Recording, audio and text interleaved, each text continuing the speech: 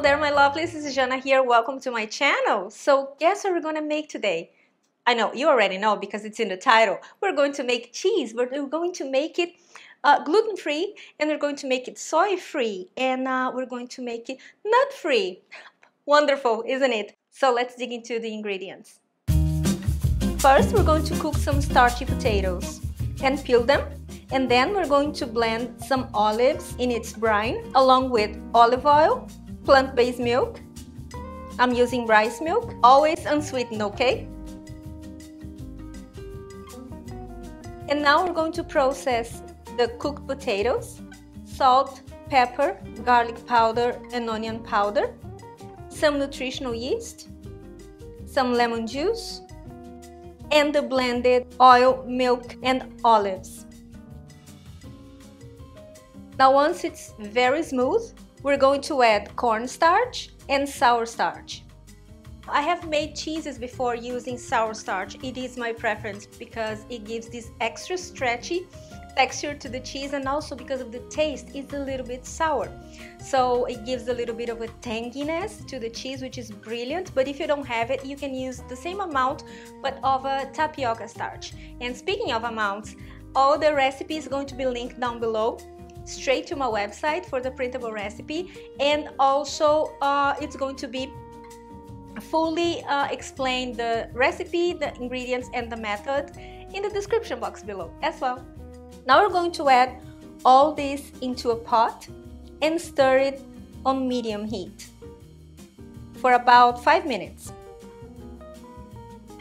Now you're gonna have to be fast because uh, this cheese it's for it's going to firm up really fast. You're going to add it to the mold that you want it to get um, uh, the shape, your preferred shape, and then you wait until it's cooled down completely, and then you put it in the fridge for at least uh, four hours.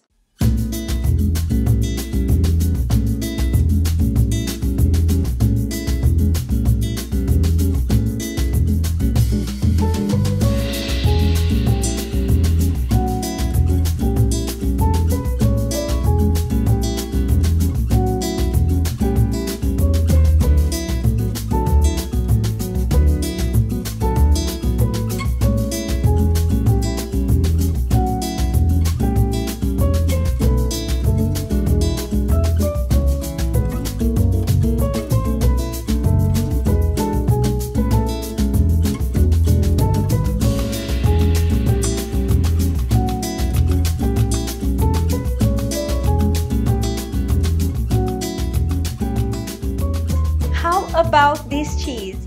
Isn't it brilliant, beautiful, delicious, and also easy? And it melts and it's delicious. Now, the idea of uh, putting some olives along with the along with the uh, olive brine is brilliant. I don't know, the, the combination with the potatoes and the combination with the um, nutritional yeast gives this punch. You know, it's super cheesy, it's delicious this is an old recipe actually that I have been doing that I have been making all the time here. It's a lifesaver because the ingredients are so available widely available. No mystery like a, uh, nothing out of this world uh, complicated and I, the taste is just perfect. And um, don't forget to subscribe to, to this channel also uh, tag me if you make it. I love when you do that. And i see you next time. Uh, have a wonderful week and until then bye